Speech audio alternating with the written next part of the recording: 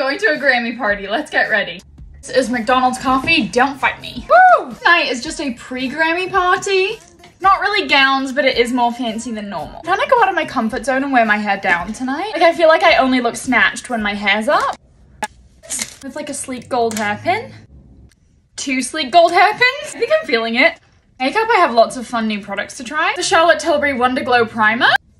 Radiant. Also gonna try the Jouer foundation. Certainly giving coverage. Looks good. I will let you know how it wore. Also gonna try the Jouer concealer. That foundation did such a good job, I don't really have much to conceal. Gonna be trying Miss Addison Rae's Item Beauty blush. It's blush. I literally look like I have a filter. I am loving this foundation. I'm thinking this Emma Chamberlain Smoky Eye from the Oscars. Just gonna use my same blush. You know what? Let's do the other one and see if I still hate it. Just kidding, I like it.